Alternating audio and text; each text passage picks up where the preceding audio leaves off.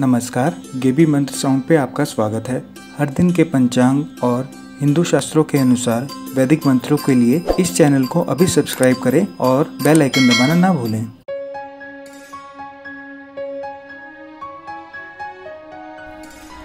दिनांक 26 सितंबर 2020 विक्रम संवत 2077 शक संवत 1942 गुजराती संवत 2076 चंद्रमास, पूर्णिमांत अश्विनी, अधिक मास, अमांत अश्विनी, अधिक मास अयन लक्ष्यनायन ऋतु, शरद तिथि शुक्ल पक्ष की दशमी, छह बजकर उनसठ मिनट तक, उसके पश्चात एकादशी, वार शनिवार, नक्षत्र उत्तराषाढ़, सात बजकर छब्बीस मिनट तक, उसके पश्चात श्रवण, योग, अतिगंड, सात बजकर उनचास मिनट तक, उसके पश्चात सुकर्मा, करण तैतिल छः बजकर सैंतालीस मिनट तक, गर छः बजकर उनसठ मिनट तक, उसके पश्चात वणिज, सूर्योदय का समय है छः बजकर बारह मिनट, सूर्यास्त होगा छः बजकर तेरह मिनट पर, सूर्य राशि कन्या, सूर्य नक्षत्र उत्तर फाल्गुनी बारह बजकर पैंतालीस मिनट, सत्ताईस सितंबर तक, उसके पश्चात हस्त चंद्र राशि मकर।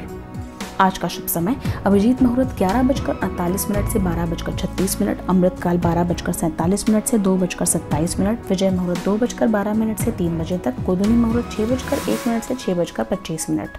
रवि योग छः बजकर बारह मिनट से सात बजकर छब्बीस मिनट और बारह बजकर पैंतालीस मिनट से छः बजकर बारह मिनट सत्ताईस सितंबर तक। ब्रह्म मुहूर्त, चार बजकर छत्तीस मिनट से पाँच बजकर चौबीस मिनट सत्ताईस सितंबर। निशिता मुहूर्त, ग्यारह बजकर अड़तालीस मिनट से बारह बजकर छत्तीस मिनट सत्ताईस सितंबर। प्रातः संध्या पाँच बजे से छः बजकर बारह मिनट सत्ताईस सितंबर। स्याहन संध्या छः बजकर तेरह मिनट से सात बजकर पच्चीस मिनट। आज का शुभ समय, नौ बजकर बारह मिनट से दस बजकर बयालीस मिनट। गुलिक काल छः बजकर बारह मिनट से सात बजकर बयालीस मिनट। यमगंड एक बजकर बयालीस मिनट से तीन बजकर बारह मिनट तक। तो ये था आज का पंचांग। कल फिर मिलते हैं कल के पंचांग के साथ। वीडियो सुनने के लिए आपका बहुत बहुत धन्यवाद।